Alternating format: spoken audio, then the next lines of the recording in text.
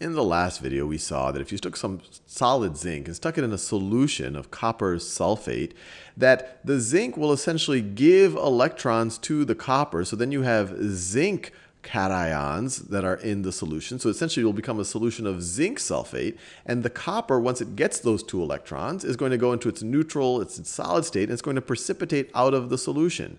And we saw the reaction right over here, solid zinc plus copper sulfate in solution in water. It's an aqueous solution. You have the copper, the solid copper precipitating out, and now it's a solution of zinc sulfate.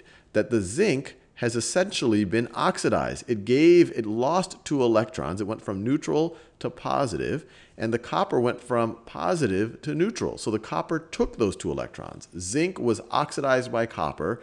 It lost electrons to the copper. Copper was reduced by zinc. Its charge was reduced by zinc. It gained electrons from zinc. Now, this by itself is interesting. It's an interesting redox reaction. Something was oxidized, something was reduced. But wouldn't it be interesting is if we could somehow somewhat separate these two half reactions and make and make these electrons travel over a wire. Now, why would that be interesting to make electrons travel over a wire? Well, if electrons traveling over a wire, that's a current. And you can make current do useful things like power a motor or a light or whatever it might be. And so essentially, if we can do that, we would have constructed something of a battery. And if we can keep that going, if we can keep the current flowing, we would have constructed something like a battery. And what I have here, this is a picture of a galvanic, sometimes called a voltaic cell. And this is doing exactly that. It's, it's separating these two half reactions.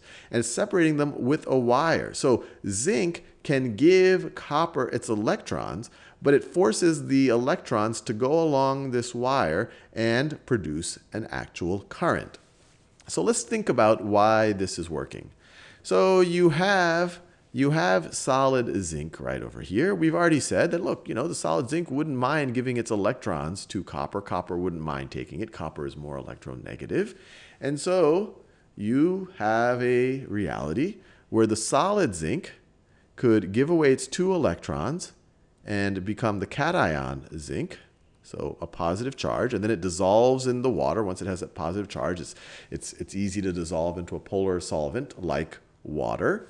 And then you have those two electrons. Where are those two electrons going to go? Those two electrons can then, those two electrons can then go and be given to the copper can then be given to the copper. And both zinc and copper are great conductors of electricity. They're transition metals. They have these seas of electrons. So electrons can travel with within them fairly easily. And so you have your two electrons. So those are your two electrons that I showed traveling in green. And they can come all the way to the bottom of where this where this copper where this copper bar is in contact with the copper with the copper sulfate solution. And now you're going to have some you're going to have an atom, a cation, I should say, an ion of copper that when it comes in contact with those electrons, it's going to nab them up. It's going to nab them up and become neutral. So it's going to nab them up and become neutral. And when it becomes neutral, it's going to precipitate out of the solution. It's going to precipitate onto that bar. Now, you might be saying, look, if more and more positive things, if more and more of this zinc this positive zinc is flowing in this, wouldn't this make this an imbalance? And if this solution becomes too positive, then the electrons wouldn't want to leave as much anymore. So if you just have a bunch of, if, you, if this starts becoming very, very, very, very positive, and similarly, if all of the positive stuff, all of the copper, if all of the copper cations are, are capturing the electrons, this solution is going to become more and more negative. It's going to have more sulfate and less of this, of, and less of the, the, the positively charged copper ions. So what can we do to make sure that that doesn't happen too quickly?